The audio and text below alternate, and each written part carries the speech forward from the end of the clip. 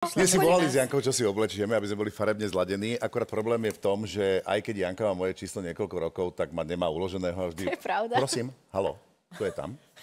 Keď, alebo keď jej zavolá, mi napíše sms čo potrebujete, Áno, volali ste. Ja si vždy myslím, že mi volá Hollywood a je to Mišo Hudák. Také sklamanie. Ja keď som si povedal, že môj, Janka nemá moje číslo, ja som myslel, že o košeli hovoríš. A ja, že konfekčné. To mi prišlo divné. Že...